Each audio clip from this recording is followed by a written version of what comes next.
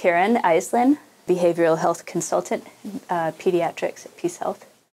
I came to Peace Health in 2007 and I worked in the hospital until two years ago.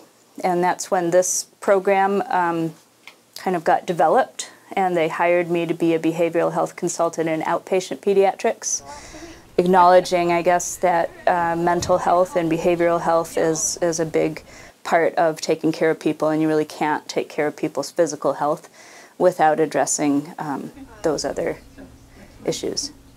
This is a, a big practice with about 20 providers. We serve about 40,000 kids.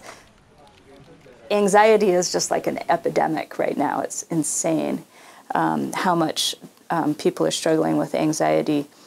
Um, and the schools are really trying to come up with ways to cope with that. And when we can partner with them, um, we can help them, you know, in terms of what might be helpful for this particular person. I'm actually giving a workshop called Anxiety 101 for um, some of the parents to, to come to because we get so many calls. Like, what do we do?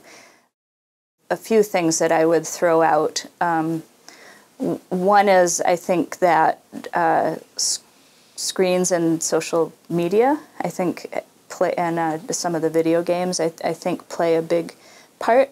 Some of these video games really keep you in fight or flight all the time. I mean, you're just, you know, you're going to get shot at, you're going to get attacked by a zombie, you you know, someone's going to jump out at you, um, and and that can be a lot of fun um, for for a half hour, an hour. But when kids are doing that six hours a day, um, they're gonna they're gonna set their nervous system on edge, and it's really really hard to you know calm down and come out of that.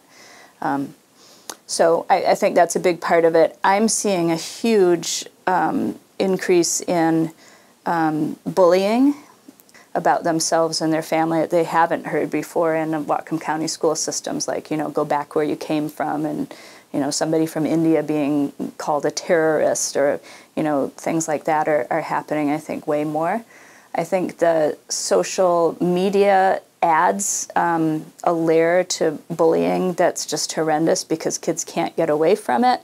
Um, they go home and they're still being bullied, and and you know people just create a page about bullying somebody, or you know it's it's it's crazy. So I think um, those are some factors, and there's a lot more. I mean, I could probably talk for 30 minutes about that, but there's a lot of things going on right now that are making it rough uh, for kids. I think that, especially in families where there are teenagers, again, I think uh, parents sometimes don't realize how important they still are. Um, maybe because they're not getting the response that they expect or because their young person is maybe um, reaching out more to their their friend circle um, and maybe not coming to their parent as much as they used to. Um, and and I've really seen good things happen when um, parents just kind of hear a little bit of about what their young person is going through, and then and then young person can say, you know, it, it helps that you know. I didn't know how to tell you, but it helps that you that you know about it.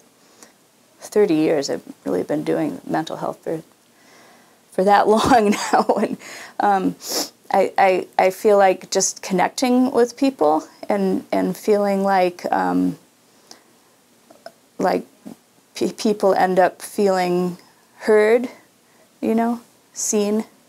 People feel like they matter um, and I really like it when I can kind of make that happen, not just between me and the person I'm talking to, but but trying to like spread that out into the community that the person's dealing with, their family, their school.